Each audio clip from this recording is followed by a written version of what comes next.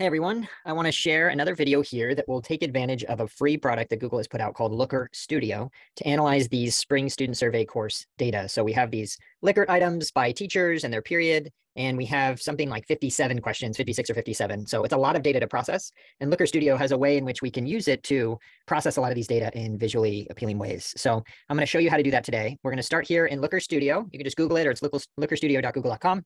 I'll start here a blank report. So we'll start from scratch.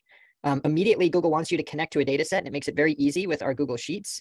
So I'm going to go ahead and link to it. Already kind of found what Google Sheets I have in my drive. So make sure that you have it saved somewhere where Google can find it, or you can find it here through your browser. But I'm going to link it to my uh, this Google Looker Studio and uh, go ahead and add my data.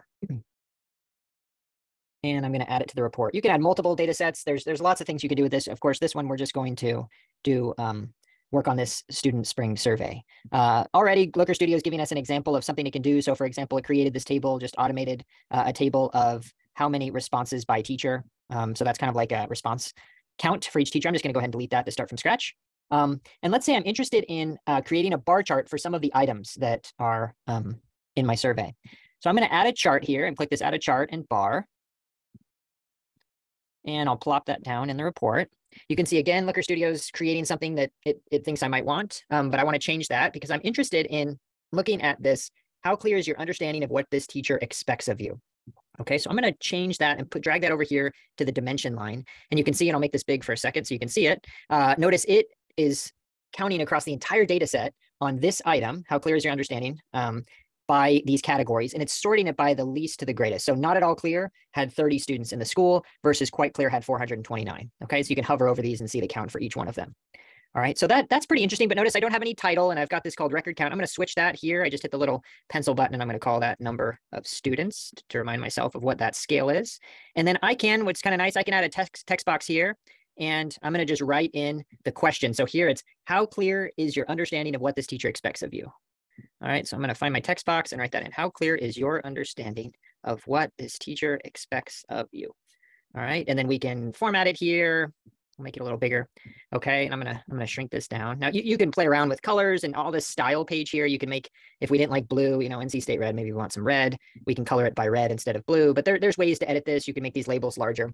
But for now, I have a clear sense of the question and then how it's filtered. But notice it's filtered across the entire school. And what if I'm interested in understanding better about individual teachers and then the periods they work in because I have that information? So what I'm going to do is I'm going to add two things. I'm going to add a control, this drop down list, and I'm going to paste it right here. And instead of that question, I'm going to scroll down over here in my variables and I'm going to plop that in for a teacher. So now I have this filter of every teacher that I can select or not select. I can select just teacher 11, for example, or I can select all the teachers, however it is. But I've created this filter of teacher that'll inform the entire page. Whatever's on that page is going to filter by that. And I'm going to add one more. I'm going to create another drop down list and I'm going to do the period. Okay, so that's the class period. So now I've created my question. It's been sorted by these uh, categories, largest to smallest, and I've now created these two filters of teacher and period. So to check out my progress here, I'm going to go ahead and go to this view, and this lets me see my dashboard. Notice I can now filter by teacher. So let's say I'm interested in just looking at teacher 11. Notice the data updates with those categories. Uh, they don't have any that's not that's not clear, unclear at all, but they have 24 of their students were extremely clear, 20 were quite, 10 were somewhat, and five were slightly. Okay. And we can also say, well, what about period? Let's say I just was interested in looking at their period three. I could do the same thing here and see the distribution of uh, clear by that period. All right. So a really handy feature, I can go back into my edit mode. And what you could do now, I know we have like 56 items or so, but you may want to create pages for each of these questions. So to do that a little bit quickly, you could just, let's say I'm, gonna, I'm just going to shrink this down a little bit and I'm going to copy it and I'm going to paste it. So I've replicated that, but instead of how clear uh, I might want to be interested in how clearly does this teacher present the material in class. And notice this distribution now has changed based on that new Likert scale, same, same kind of clear scale, but you can see the responses differ. Um, and um, we will then title it because we don't have that. So I'm just going to grab this title, move it down, and remind myself this is how clearly does the teacher present, how clearly does the teacher present the material in class. Okay, I've updated that. And now if I go back to my view, we can see how that's sorted again by this teacher. Maybe we want to see the full data set. So we're going to select everyone here and you can look by period. Maybe we'll just select all the time periods here, the class periods, excuse me. And you can see that distribution. Okay. So that is one way to begin to look at the distribution of your data.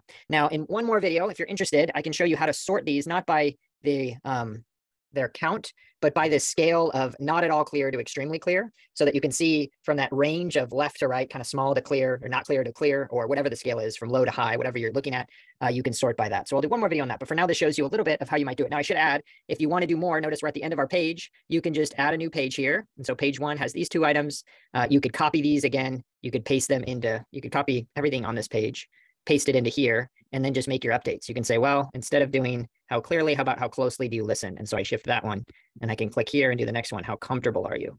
All right. And then all I would need to do would be to update these labels, these titles here to reflect those questions. Um, but that's one way to organize these data.